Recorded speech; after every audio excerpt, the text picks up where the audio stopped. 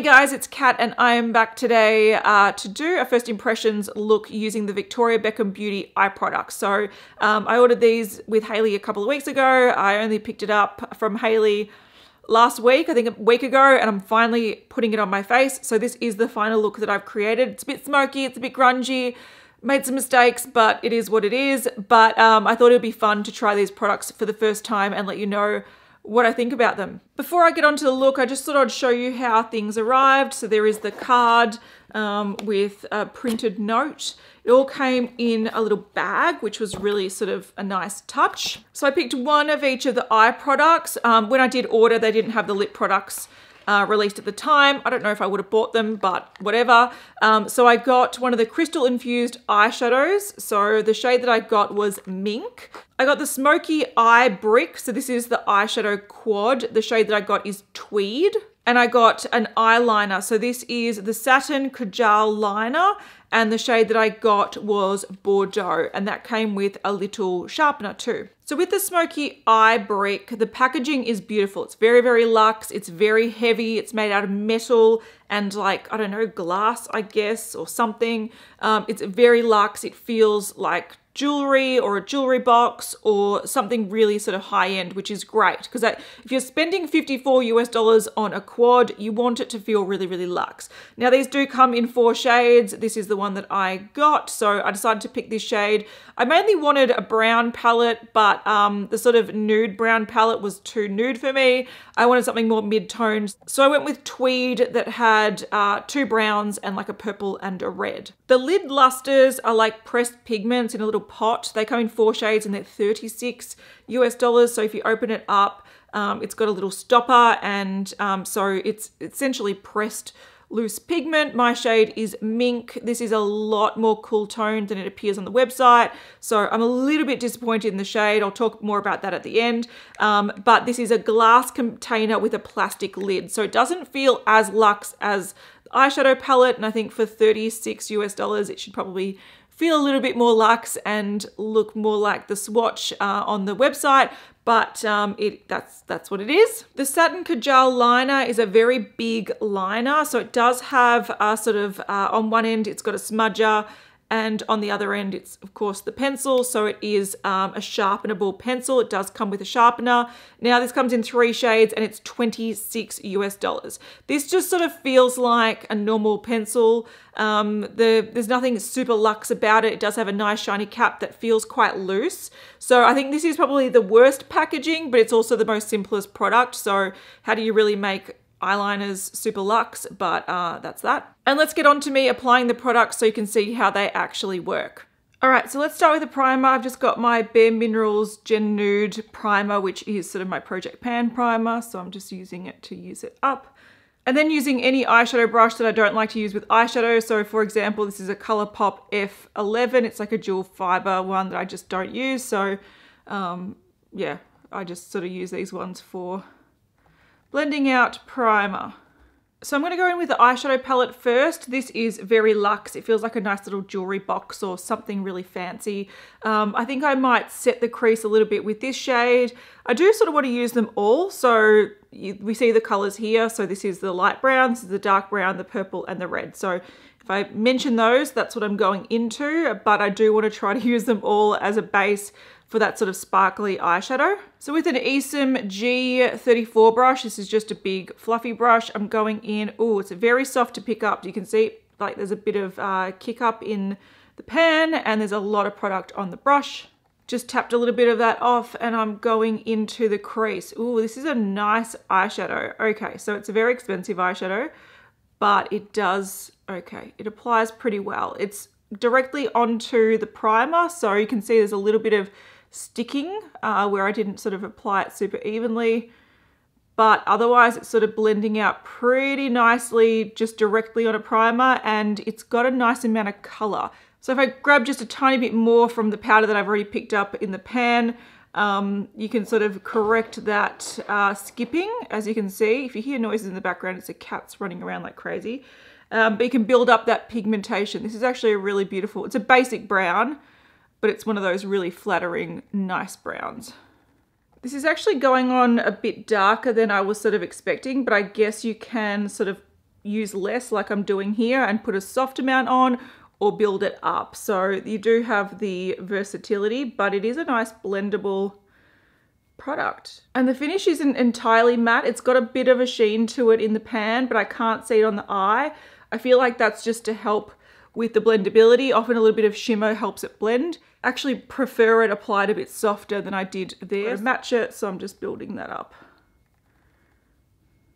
With a smaller, fluffier brush, so this is the Morphe M506, I'm going in with the same brown. I'm just putting a little bit on the inner corner of the eye. There's the cats again. Whoa. Off they go. So the reason I'm doing this is because I don't really have any light shades to put in there. Um, and I don't want to put anything darker than what I've already got on the eye. So I'm just using this to sort of uh, anchor the look a little bit. With the same brush and the same color, I'm just doing the same for the bottom lash line.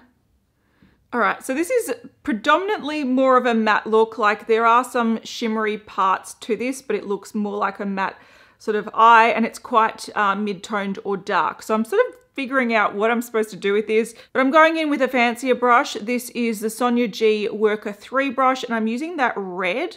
So it picks up very, very nicely. And I just want to put that on the sort of main part of the mobile lid. So it's definitely more red, but it's not like super, super bright. So you can see the red on it, which is nice, but it's not all of a sudden taking this into a really bright area. It's still a smoky red. So hopefully you can see with this shadow that it did apply pretty uh, nicely and evenly. It's not super, super bold. All right, back to that mini sort of Morphe fluffy brush. And I've just picked up the purple shade and I'm running it on my lower lash line, just in the outer corner to smoke it up. This is a beautiful color. Um, I think it might be a little bit patchier to apply than the other shades. But it's definitely a nice addition to this palette because I love these sort of purples to smoke up a look. I sort of feel like as I'm putting on the purple, it's lifting the red, which is a bit annoying, but um, we'll see if we can sort of make that work a bit better. I think that's applied pretty nicely. Once again, not super bold, but very smoky. I'm just going over just the outer portion where I met the purple with the red, just with a little bit more red just to see how it blends. It does blend better when you sort of blend the lighter shade over the darker shade. Uh, just adds a little bit more of that red back. So not a super exciting look yet, but I do want to add that shimmer on and I haven't used the dark brown, but I want to use that maybe after I use a shimmer. So I'm just going in with a clean brush and just sort of blending that. I always find that mattes are a little bit less forgiving when it comes to patchiness. You can really see the sort of patchiness if you don't blend them properly, whereas shimmers are a little bit more forgiving. So uh, I'm just gonna do a bit of blending. So far, I think the part that I like the most of this look is actually the smoky purple on the lower lash line going into the outer corner. I think it gives like a really nice grungy sort of smoky vibe. The color's really pretty. Um, and you could wear it with cool and warm looks. And um, I think also because I didn't put any primer on my lower lash line, um, I didn't put too much on, but it did stick pretty well. All right, time for the lid luster in the shade Mink. So I am actually gonna swatch this. I haven't swatched this yet. It's really, ooh, it's much more cool toned than I expected. So it's brown with like a cool shift to it. So there you go. It's very pigmented and beautiful. I sort of want to dot that on the um, middle of the lid so this is just an old crown brush with uh, no name on it, but you can see how sort of wet that is because it is a pressed pigment. And what I mean by that is uh, you need to use the lid to actually press it into place. When I did get this, it had a crack in it, it was a little bit broken. So I just pressed it down with the lid and it holds it into place, but you do pick up a lot of product because it's not like a really firmly pressed product like an eyeshadow. So I'm just gonna put that maybe here. Okay, yeah, you can definitely feel that it's quite wet. The more you pick up, the more it feels wet. And I thought this was gonna go a bit better with the red, but it doesn't really seem to be. It's a lot cooler toned than what I was expecting. I might need to adjust my eyeshadow situation. So there is such a thing as picking up too much because you can sort of accidentally gouge into the pot. Um, so just be careful. To get a really intense effect, you could apply this with your fingers as well, or just over a glitter glue, but it does have a nice amount of pigment that it will just um, apply nicely with a brush. And this is a really cheap brush. So hopefully you can see the gouge that I accidentally made in it. So I'm just gonna put that lid, that sort of presser back in and you can kind of squeeze it down, hold it in there and just put the lid back on. So I do think that applied quite nicely and it give, gives a really pretty effect, but I don't really love it with the red. It just looks a bit much. So what I'm gonna do is I'm gonna go in with some of that dark brown on that same little crown brush and I'm just going to cover the red on the lid. So this is the dark brown that I haven't used yet just to sort of transition that shimmer to a matte. So I've just wiped off that brush and I'm going with the red again, but I'm putting a bit of the red on the lower lash line instead. So that's where I'm now focusing the red, a little bit more purple, building up that purple in the outer corner, doing some blendy action. All right, so that looks like a right mess. I'm gonna go and tidy up uh, the lower lash line a little bit with concealer. I've got a little bit of fallout from that shimmer as well, so I'm just gonna tidy up a bit and be back. All right, so we've got a bit of a grungy mess going on and I don't think any eyeshadow is gonna fix this, but um, I do wanna go in with the liner. So this is the liner in Bordeaux, which is a nice, beautiful sort of burgundy color. I definitely want to put this on the waterline and the lower lash line and sort of blend it out a little bit to get more red because it's sort of just muddied into sort of browny kind of warm tones, but I'm debating about whether or not I put this on my uh, top lid as well. So I don't really like pencil liner on the top lid. I don't think it gives the effect that I usually go for. So this might just be on the lower lash line. All right, so it's super, super pigmented. Like that's just lightly touching it and um, it goes on like a dream. It's beautiful. One thing I love about this as well is this red is actually pretty flattering. I have another sort of burgundy liner from Marc Jacobs and I feel like it makes me look like my eyes are bleeding. Whereas I feel like this is dark enough and sort of berry enough that it works. I'm just gonna run a little bit of that on the lower lash line as well. So just sort of dotting it along. And of course you can take the smudger on the end, but I like having something that I can clean easily. So I'm going in with this little firm brush again and I'm just sort of blending that color out. I think this is gorgeous. Okay, I actually think my favorite part of what I've used so far is probably this liner, if it lasts, because it is very, very pretty. Super creamy and pigmented, blends a dream. Look at it, it's just blending itself almost. It's really, really pretty. All right, I've decided I'm not gonna do any top liner. I'm just gonna go curl my lashes, do some mascara and maybe put some half lashes on, but I wanna put a little bit more of that sparkle just on with my finger um, because I feel like the blending, we've lost a little bit of it. I don't want too much on because it's a very, very dark color, but I just want a little bit of sparkle. Add a bit of dimension to this really sort of flat look. So it is very dark, but at least there's a bit of twinkle going on to just to brighten it a little bit. All right, we're back with the finished look. So I curled my lashes. I put a bit of MAC, um, whatever this mascara is. What is it? False Lashes mascara. It's not a very bold mascara. But I also put some Model Rock half lashes. So I pretty much take a lash, cut it in half, and just put on the outer corner. So that's what I've done. I've put them on a bit wonky, but it is what it is. But uh, you can see it's a very smoky look. All right, so I think from afar, this is actually a lot prettier. I did actually have a darker lip on, um, but I toned it down by putting a Jouer uh, lip cream on because I just thought dark and dark's not going to be great. But I do like this look. I think it did sort of come together at the end. I think what really changed it was adding a bit more shimmer on the lid and also adding that um, burgundy liner. I think that liner is probably my favorite thing out of the three items I tried. So even though this is the first impressions, I do have some thoughts on this. Um, so firstly, let's talk about um, the eyeshadow palette. This is a very, very expensive palette and I think um, the price definitely goes to the packaging, which I believe is reusable. This is like a jewelry box or like a really fancy sort of like card carrier or like cigarette box back, cigarette like clasp thing back in the day. It's very, very fancy and you can feel it's very weighty and that's where your money's going. Uh, it does have a very nice quality mirror in there as well, which is really beautiful. The shades I do like. I think overall they are destined to make a very dark look unless you predominantly use this shade.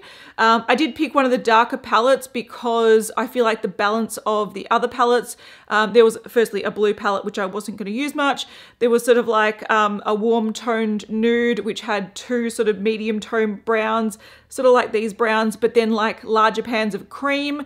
I don't really use cream besides setting my base, so I thought that was a bit of a waste. And then there's like a really sort of smoky um, grey toned one, which I wasn't going to use either. So I really wanted to try this one because I love the mid-tones and I do think these purples and the reds can really complement a look. But I don't think for me personally, this is a really good standalone palette.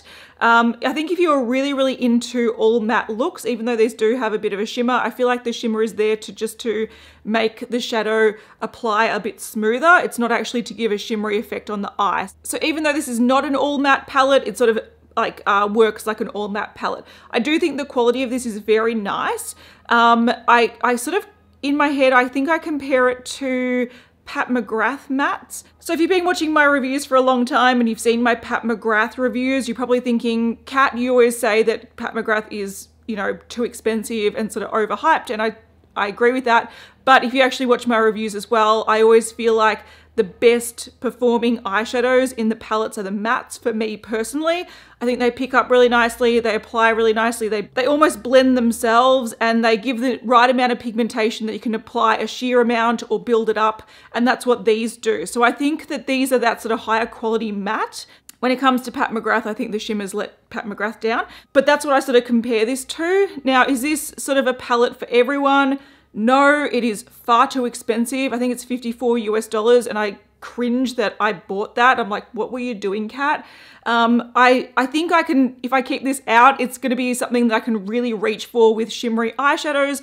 Like if you've got a favorite sort of single shimmery eyeshadow, whether it's champagne or whether it's bronze or whether it's gold, uh, this is sort of the palette that I would reach for to complete the look. But on its own, it creates a very, very smoky, dark look, which I don't like to wear on a daily basis, but I do think the quality is nice. I think if you bought this and you love the colors, you wouldn't be disappointed, but I do feel like it is very expensive. Now, I think another mistake that I made was trying to use all the four shades. I think these, even though you can use all four shades, I think these would be better if you sort of like paired the browns or, you know, the brown and the red or the purple and the red. I feel like less is probably more with these because they are so similar in the color tone that they can sort of muddy together really quickly. Now, of course, I sort of demonstrated them putting them on separately and then layered them a lot just to adjust the look. So um, mine got a lot more muddled than probably most people's would, but I would definitely reach for this if I was going for say like a, I don't know, like a cranberry eye, I would, you know, put that down in the crease, blend it out with that, off you go. So I do think that this is very usable, but it is, uh, and it's very, very sleek. I really like the packaging. Now I did see a few reviews of people complaining about the size of this because it is tiny, but at the same time you do get 8.5 grams of product. So because there's no pans dividing it and a lot of wasted space, you actually do get a lot of product in here. And if you compare it to something like I don't know, the Naked palette or something. I think that's like 12 grams or roughly something like that. So um, this actually does contain quite a lot of product and it's only great if you like the shades. All right, onto the lid luster. I don't mind this, but I don't think it's worth the money. Again, I think this is like 30 $4 or something. Um, I sort of was ex expecting this to feel a lot more luxe than it does. It is made out of glass down the bottom and it's like got this black glass sort of uh, base, but the lid is just printed plastic. So it feels a little bit cheap. Mine has an imperfection where um, there must have been a dot on the packaging um, before it was painted and then it sort of rubbed off and it's left with like a little fleck on there. I don't know if you can see, um, but it feels really light and sort of cheap. Uh, this reminds me of when people first try Hourglass for the first time and they go, oh, the packaging looks metal, but they feel it it's painted plastic. I sort of feel the same vibe with this. The luxe like element isn't there. I think the product is nice. Um, I think it reminds me a lot of those L'Oreal sort of pressed pigment things. Um, so they're not new on the market. These have been around for a while. It picks up nicely. It does apply nicely. But I think this particular color, mink, um, is a lot more cool toned and grey than it appears on the website. I was expecting this to be a lot more bronze and a lot more warm and something I can wear every day. But as it is, it's sort of like a brown base with a like a cool tone like shimmer to it um, and it makes things look very very dramatic and very uh, I don't know smoky. So for me this isn't as wearable daily wearable as I was expecting but the quality is nice. Like the product is nice but the packaging has sort of left let me down a little bit. I was just expecting something a little bit more luxe for the price. I think my favorite thing is the eyeliner. This is also not cheap. I think it's like 24 US dollars. Um, but I do know, I have spent a bit of money on eyeliners in the past and they last you years and years and years. And the quality of this one is beautiful. It like applies itself.